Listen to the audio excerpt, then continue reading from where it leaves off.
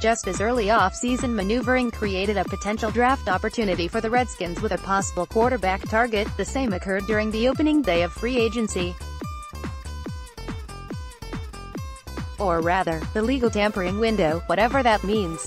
Pass rusher, the buzz on any type of discussion with the Redskins free agent Preston Smith remained library quiet all the way to the point where the linebacker reportedly signed with Green Bay Tuesday. His exit means the Redskins must find an edge replacement in free agency or considering the premium position, early in the draft. To the latter angle, the odds of that potentially happening, in theory, improved this week. The Lions, owners of the number 8 pick, are consistently projected to select a pass rusher with Ziggy Ansah headed to free agency. That likely changes after Detroit signed free agent Trey Flowers away from New England, then we have the Packers. In my latest mock draft for NBC Sports Washington, updated through Monday's activity, five of the top 12 selections are edge rushers including four of the first six picks. With the 12th overall selection, I had Green Bay selecting Florida State's Brian Burns, who had 10 sacks last season. I won't in the next mock. The Packers signed Preston Smith and Baltimore's Za'Darius Smith Tuesday. They needed pass rush help and didn't wait for the draft. Therefore, in theory, Burns could slip to 15.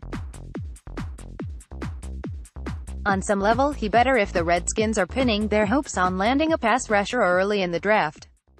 There were more options not long ago.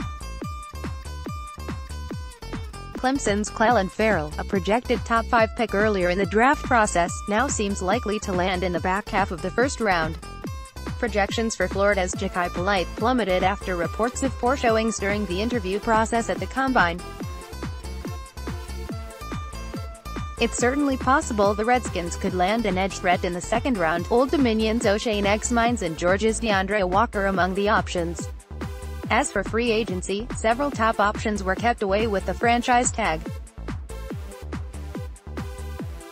The two Smiths were the top two targets remaining according to Rotoworld's Evan Silva's, names below including Shane Ray and Derek Morgan are a tier or more down. For a true upside, the draft offers more hope at least until the next batch of moves. Asterisk, the Jets' shopping spree will eventually end, but the bill racked up in the first day of this legal tampering phase is quite impressive.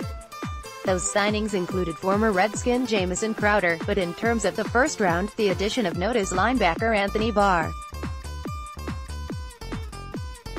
Now New York likely ignores the edge rushers and focuses on Alabama defensive tackle Quinnen Williams, or sets up shop as the place for teams wanting to trade up for pass rushing help or one of the quarterbacks. Asterisk staying in the AFC East, the Dolphins may be the one tanking for Zion Williamson. Oops, wrong sport. Sorry, Miami appears set on tanking for Tua Tagovailoa or one of the other top QB candidates in the heralded 2020 class. The QB-needy Dolphins were not aggressive with Nick Foles before the former Eagle signed with the Jaguars Monday. Left tackle Ja'Wuan James reportedly signed with the Broncos Monday, becoming the league's highest-paid right tackle. Look for more slow playing from the Dolphins and more talent leaving South Beach. If this holds, Miami may pass on a quarterback with the 13th overall selection. Asterisk the Jaguars did indeed land Foles, a move that could push the remaining top passing prospects in the draft down the board a few spots. Asterisk even though the Raiders made the splashiest of moves by trading for Antonio Brown, receiver remains a need for Oakland.